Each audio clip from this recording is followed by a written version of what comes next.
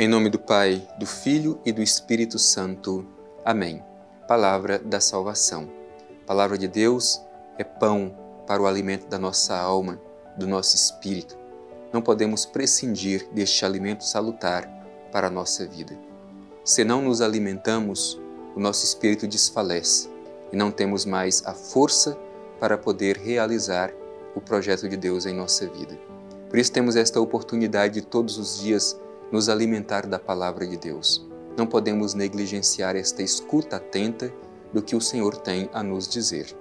Por isso te convido, meu irmão, te convido, minha irmã, a fazermos deste momento o momento da partilha deste pão da palavra e que possamos dele nos alimentar para nos robustecer para continuar a nossa missão na igreja, testemunhando o amor de Deus, assumindo o serviço que ele nos confia.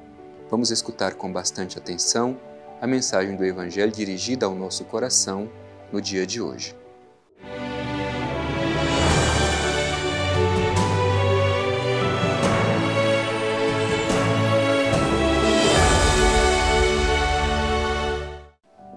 Proclamação do Evangelho de Jesus Cristo segundo João.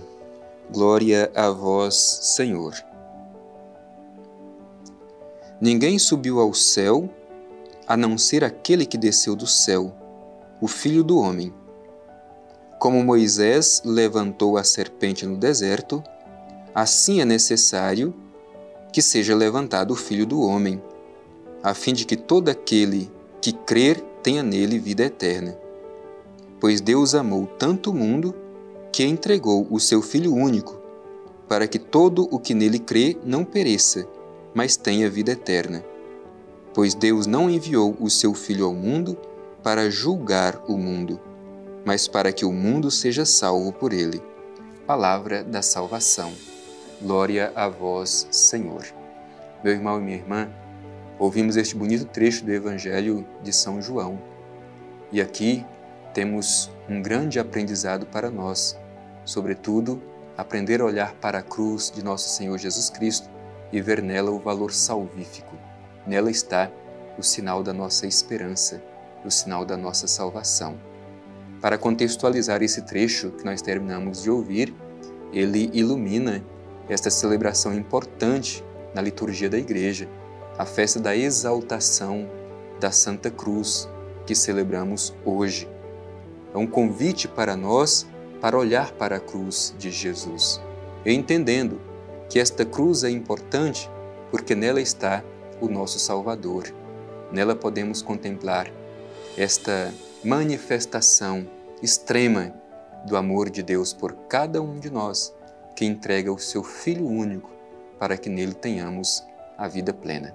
Por isso, vamos refletir com bastante atenção a mensagem deste Evangelho para celebrarmos bem esta festa do dia de hoje, a exaltação da Santa Cruz.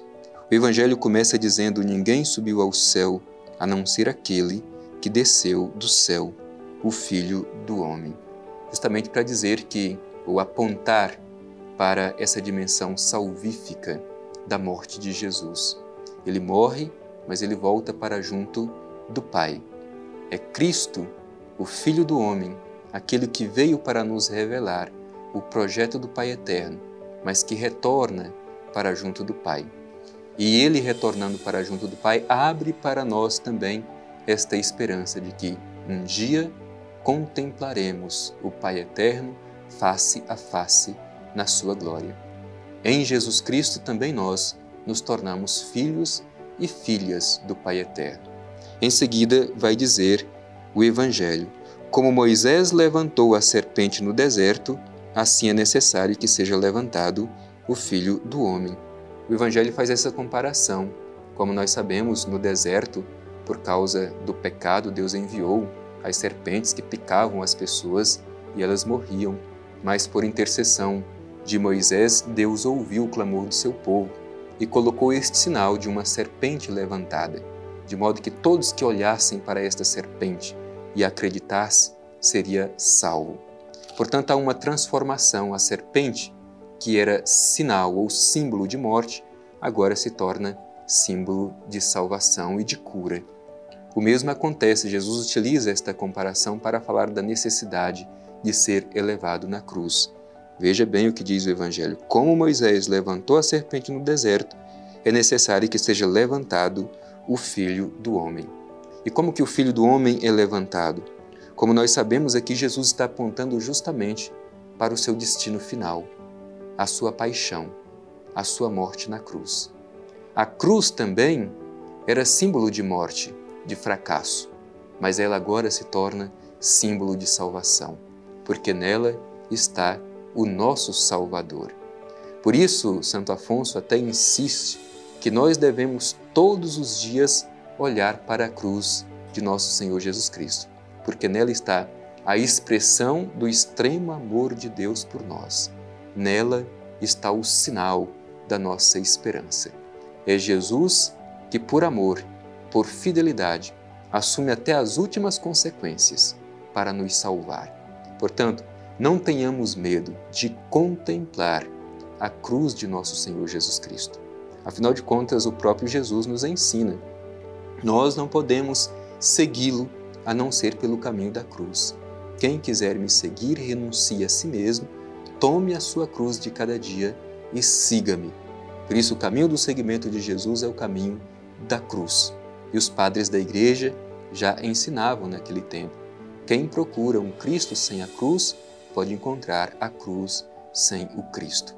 Embora hoje nós encontremos várias propagandas de um cristianismo fácil, mas o Evangelho nos diz que o seguimento de Jesus é o caminho da cruz. Por isso, não percamos de vista a cruz de nosso Senhor Jesus Cristo. Nela está o sinal da nossa salvação. Em seguida, o Evangelho vai dizer que o Filho do Homem deve ser levantado a fim de que todo aquele que crer tenha nele a vida eterna. Portanto, a cruz para nós tem um valor salvífico. Não é a cruz pela cruz, não é a dor pela dor, não é a paixão pela paixão, mas é a cruz para a nossa salvação. É a dor por amor. É por isso que Cristo suportou a cruz até o fim. É nesse sentido que, crendo em Jesus crucificado, nós recebemos dele a vida eterna. Portanto, a cruz para nós tem valor salvífico porque nela está o nosso Salvador. Em seguida diz o Evangelho: Deus amou tanto o mundo que entregou o seu Filho único. Isto é, aquilo que o Pai Eterno tinha de mais precioso, mas porque nos ama tanto, ele nos entregou o seu Filho único. Deu o seu Filho para nos salvar. É isso que diz o Evangelho. Muitas vezes a gente entende de forma errada. A gente pensa ou tem uma relação com um Deus que julga, com um Deus que castiga.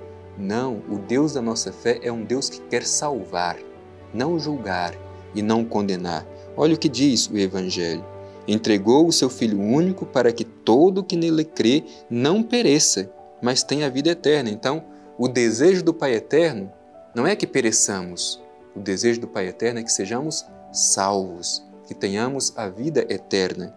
E ele diz isso muito claro: Deus não enviou o seu Filho ao mundo para julgar o mundo, mas para que o mundo seja salvo por ele. Portanto, o desejo do Pai Eterno é salvar a humanidade, é salvar cada um de nós. Deus não envia o seu Filho para julgar.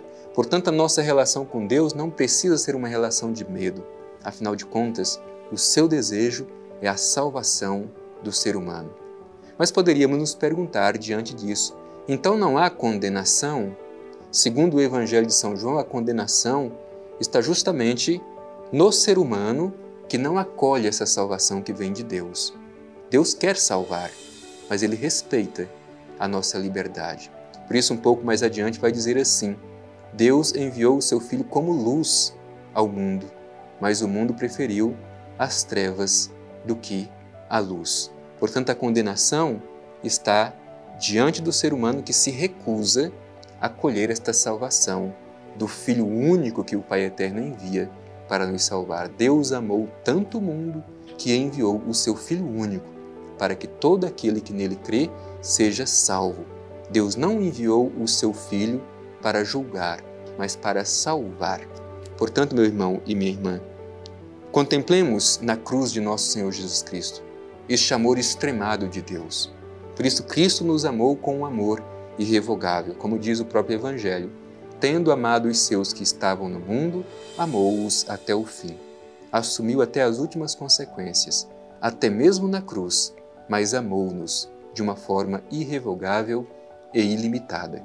Que saibamos todos os dias contemplar a cruz de nosso Senhor Jesus Cristo como sinal da nossa salvação e como sinal do amor extremo do Pai Eterno por cada um de nós que nos dá aquilo que Ele tem de mais precioso, o seu Filho único.